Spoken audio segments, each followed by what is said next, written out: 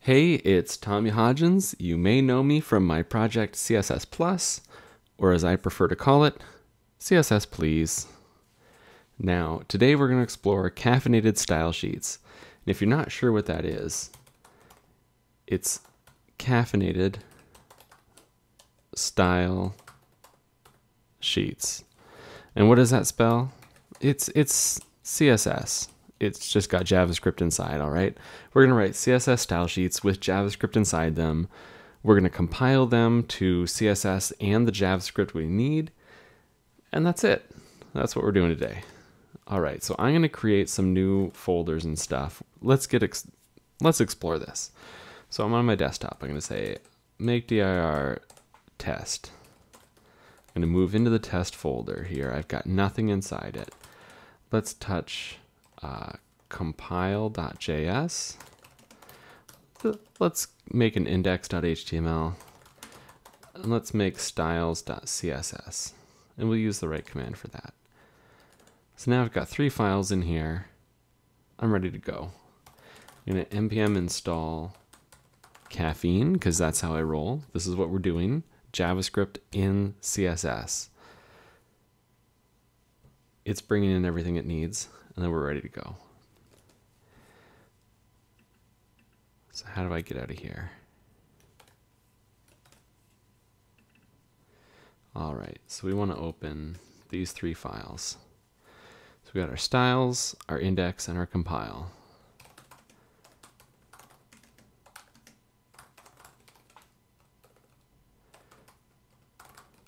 So the first thing I'm going to do is require qaffeine.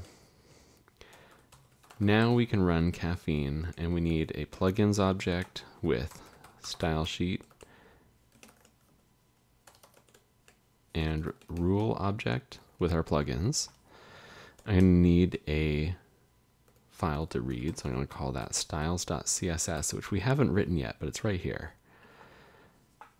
And I'm going to output output.js, yes, I'm Canadian, and output.css.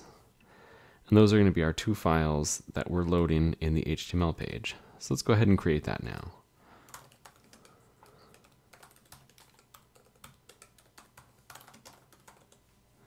So here I've got just the basic HTML elements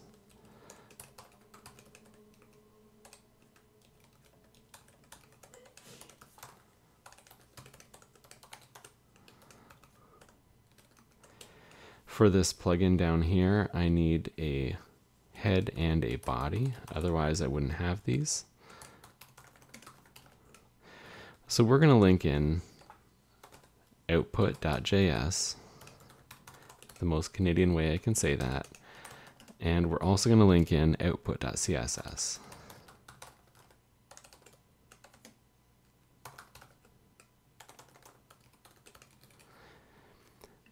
So just for fun, let's create a div here. This will be what we test. So I've got compile with no plugins. I've got a styles.css file that we're going to read. I have an index file, which is going to read output.js and output.css. And those are the files I'm going to output. So now what we need to do is we need to import some plugins or write some plugins or somehow include some plugins in here and we need to write some CSS that depends on those plugins. And what we're going to see is that this CSS is going to get compiled into the CSS and JS that we need to interpret the styles we've written. So how could I go ahead and do this? What if I do npm install css polyfill patterns? That has a few. So there's probably about 40 different plugins we've got here.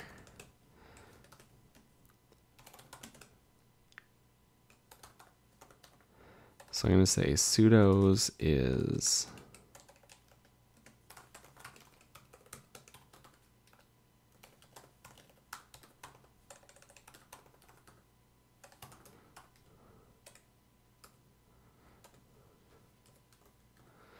That looks right. So our pseudo classes have been imported here from this module. And I'm going to go ahead in here and say spread those here. Or I could just say, make our rules that object. I think we're good to go.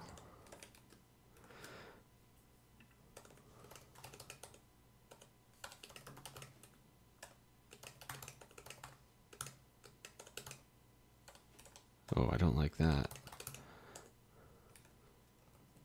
I hate when an editor types things for me that I did not type.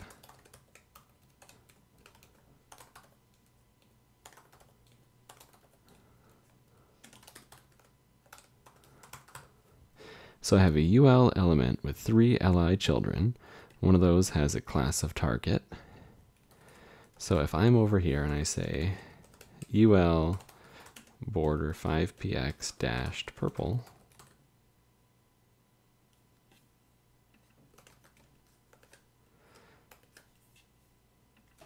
we should see that pass through. Uh, what do I have here? It's not the right folder. I'll just open it.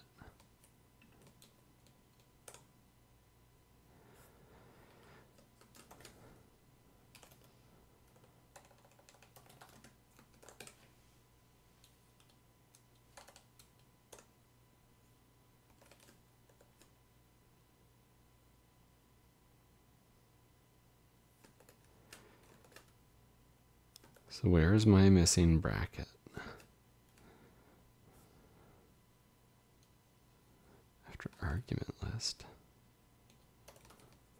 Gotcha.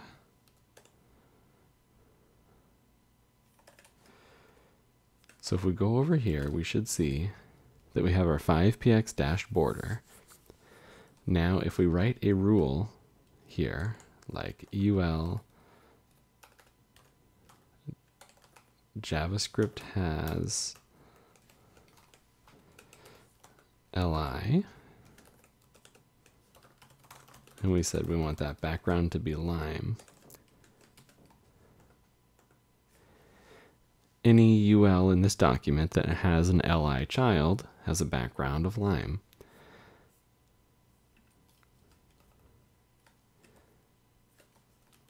Now, if I were to copy this entire list, and remove this class.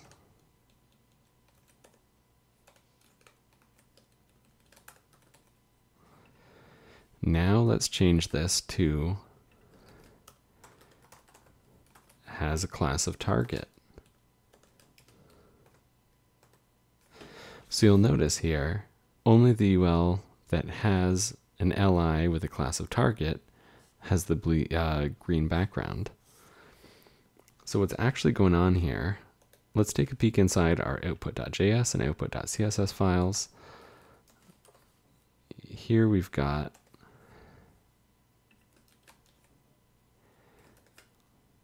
just our original untouched rule in the output.css. And in our output.js, we have a copy of the JS and CSS uh, function here.